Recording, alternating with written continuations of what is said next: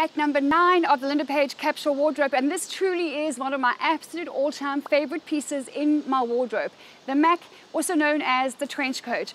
I always recommend that you start with a nude or a very light tan color. I find it a lot more versatile. Um, I did leave my beautiful trench coat on a plane a few months ago and I had to make an investment in a new one. And I say investment because it really is an investment.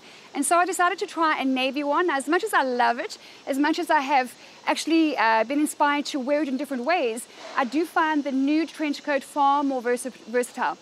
If you want to look like a fashionista, if you want to fit in with the Parisians here in Paris, if you want to go anywhere in the world, and be a little bit warm. So just like now, it's raining leaves.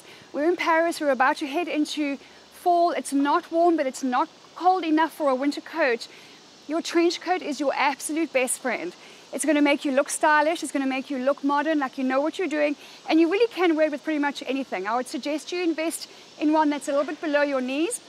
But if you find one that's a longer version of that, maybe it's got that collar that you like, maybe it's got the lapel details or the, the cuff details, but this has got to be one where you invest more money than perhaps you would, so that you have the quality over quantity. So at number nine is the trench coat.